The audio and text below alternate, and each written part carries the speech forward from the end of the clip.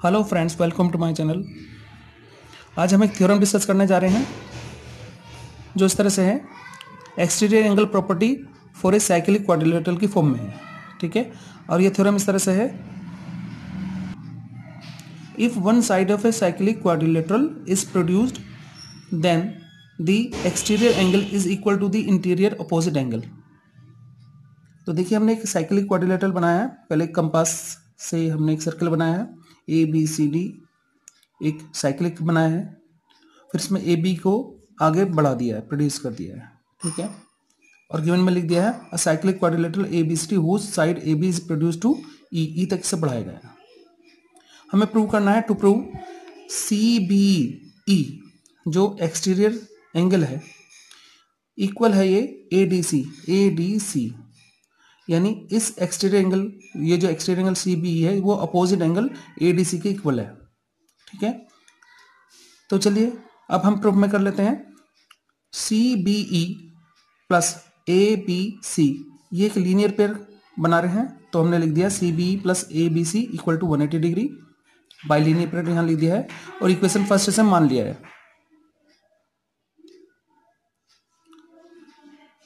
ठीक है? अब सेकेंडली हम क्या देखते हैं?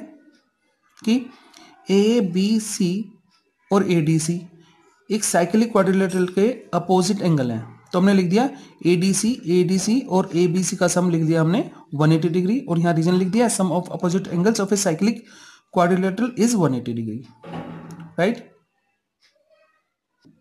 from equation first and second तो हम देखते हैं दोनों वैल्यू 180 के इक्वल है।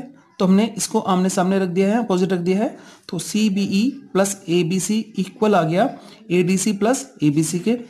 अब यहाँ देख रहे हैं, हम दो एंगल सेम मिल रहे हैं तो हम इनको काट देंगे। ठीक है? तो सी बी ई एंगल की वैल्यू आ गई एंगल ए डी सी के इक्वल ठीक है? तो इस तरह से प्रूव हो गया।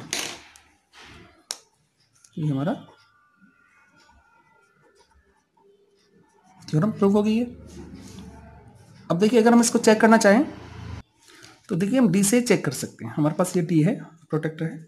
तो देखिए हम चेक करते हैं कि एंगल सी बी ई की वैल्यू क्या है। तो हम देख रहे हैं सी बी ई की वैल्यू हम देख रहे हैं हंड्रेड वन डिग्री यानी ये हंड्रेड वन डिग्री है।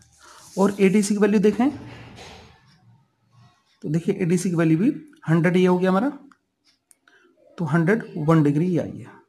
ठीक है? तो ये हम इसको इस तरह से भी चेक कर सकते हैं। ठीक है स्टूडेंट ओके